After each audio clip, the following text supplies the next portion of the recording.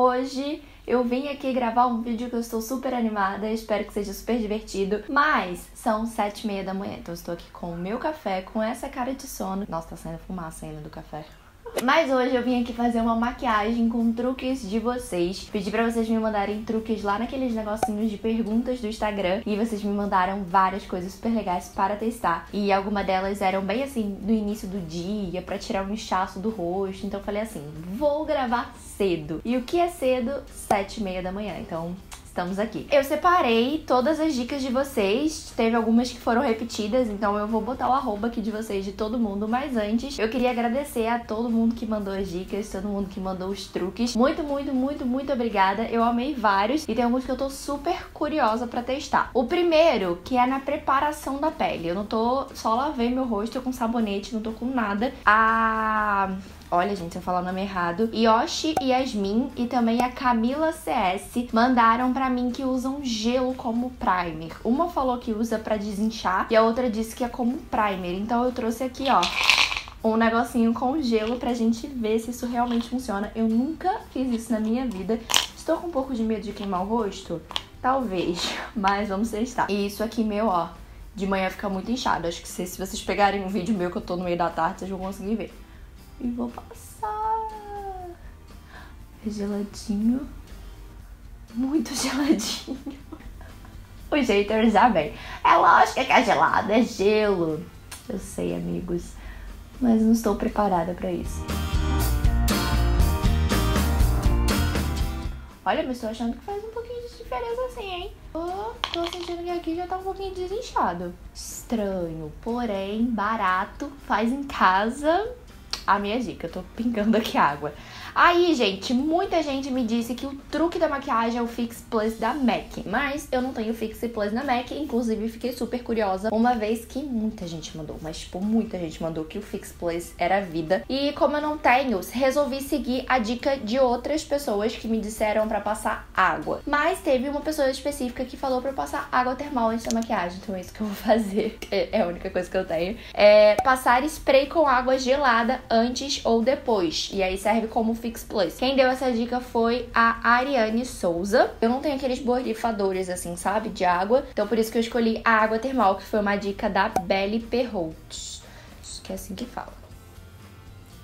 E agora eu vou esperar um pouquinho ela secar para poder continuar com os outros truques, com os outros passos. Agora, a dica da Maria Silva foi a dica assim mais inovadora de todas que eu vi aqui, que apareceu aqui, mais do que o gelo, porque do gelo assim eu já tinha ouvido falar, mas nunca tinha feito. Só que a dela foi misturar a base com primer. E eu fiquei tipo, resolvi testar porque confio em vocês. Então eu peguei aqui, trouxe duas bases, não sei qual eu vou usar, também não sei se isso depende assim da base, sabe? Porque tem algumas bases que não combinam com alguns primers mesmo, então eu tô com medo disso acontecer. Vou aplicar essa aqui da Kiko, porque ela é mais molinha, sabe? E aí eu vou misturar junto com o primer que eu mais gosto, que é o da NYX. E segundo ela, faz a maquiagem durar mais tempo e fica com uma cobertura mais leve. Eu vou pegar aqui, ó, o primer da NYX e vou botar um pouquinho.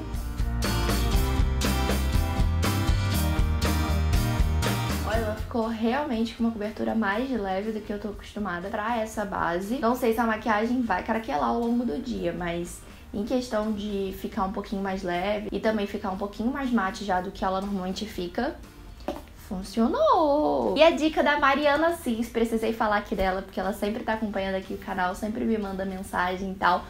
Beijo, Mariana, muito obrigada por todo o carinho. E ela disse que ela espalha muito bem a base, tipo 10 minutos espalhando a base. Então, Mariana, em sua homenagem, eu vou ficar aqui 1 e 5 espalhando. Mentira, mas a dica dela é super importante, de verdade, gente. Quanto mais você espalhar a base, quanto mais tempo você tiver cuidado nesse primeiro passo, melhor vai ficar a sua maquiagem, porque pensa que é a base da sua maquiagem. Então, se a base estiver passada de qualquer jeito, nada que você coloque por cima vai ficar legal. Nem um super delineador, nem com um glitter incrível na pálpebra. Nada vai ficar legal porque sua pele não tá bonita. E só quando a pele tá bonita que a maquiagem fica com o resultado mais bonito. Próxima dica foi da Carol Pereira. Ela disse para passar fixador de sombras nas olheiras antes do corretivo. Já vi muita gente falando dessa dica, mas nunca tentei fazer, então vou tentar hoje. Vou esperar dar uma secadinha aqui no corretivo, enquanto isso vou preencher as sobrancelhas. Não teve nenhuma dica para isso, então vou pular essa parte.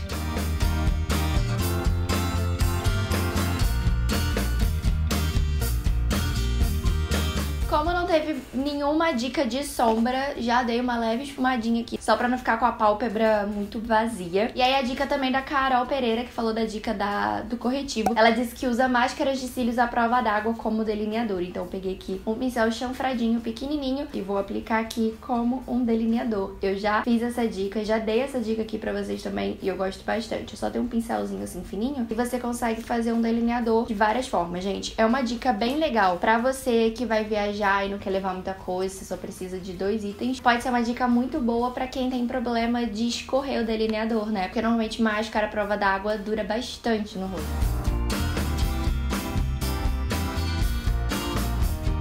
Ó, não vou usar ou usar muito no delineador porque ainda tá muito cedo, mas super funciona, fica super bonito.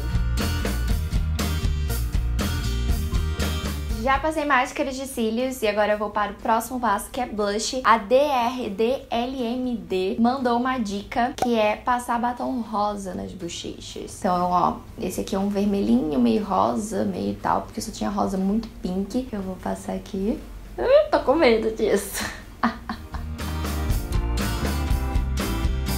Gente, eu acho que isso não funciona pra mim, porque eu acho que blush rosa não funciona pra mim porque eu fico com muita cara de boneca e eu fico com a sensação que eu tô saindo da academia, sabe? Porque eu fico assim quando saio da academia. E aí, outra dica foi pegar o batom e dar batidinhas no centro do, da boca pra espalhando ele deixar ele mais como fala, deixar ele mais suave. Então eu vou pegar esse aqui da NYX, que eu já tenho feito isso e eu tenho gostado bastante. Vou botar aqui, ó, no centrinho.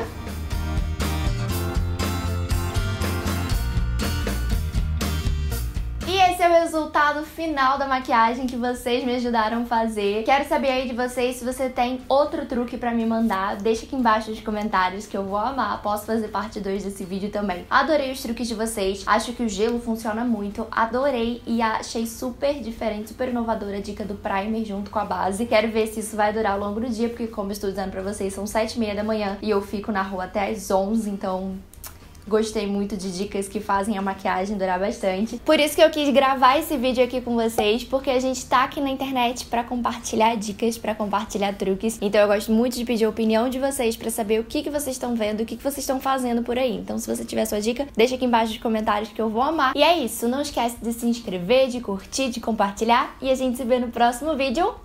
Até lá!